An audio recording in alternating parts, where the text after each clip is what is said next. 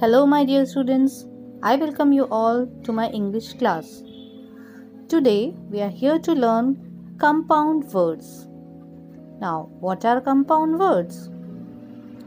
Two or more words, when joined together to make a new word with entirely new meaning, is known as compound word. Okay, children, so let's see some of them. 97 so this is our page number 97 children. Again make two nouns using each of these words as shown now here we have to add one word to the given letter to make a new word that is a compound word. Okay first one has already been done for you. That is cycle what is a new word made? That is bicycle and motorcycle. Let's see the second one. Second one is hand. Now, what can we make? Handshake. Okay, so write here shake. S H A K E shake. Handshake. When we meet our friends, we generally do handshake, but nowadays it is not done because of the coronavirus. Okay, so we all know what is a handshake. What is, can be the second word? Hand wash. W A S H, which is nowadays very important. Hand wash. Many more words you can make, children. I have chosen two words that is handshake and hand wash. What is the third one? Ball. What can be right? Mm, football. F O O T football and basketball.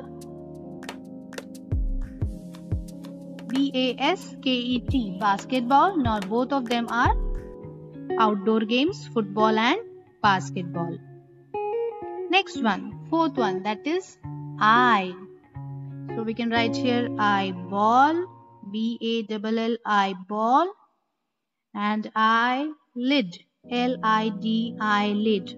Now what is eyeball when you see in the mirror, children, and you will see into your eyes, you will find a round ball over there. That is what we call eyeball. It is generally of black or brown color and sometimes green or blue too. Okay? And what is eyelid? If something goes inside your eyes, what do we do? We close our eyes. So, with what the thing which we are closing our eyes, that particular thing is called eyelid. Okay? That protects our eye from any dirt or anything else which goes inside. Okay so eyeball and eyelid fifth one. Room.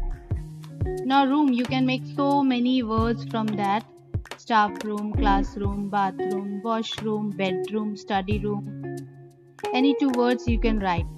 Okay what i choose is staff room S T A double F staff room and classroom. C L A double S classroom. And we all know what is a staff room and classroom. We don't have to explain.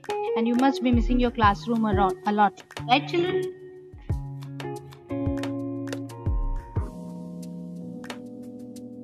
Okay i give you 2 minutes to complete your work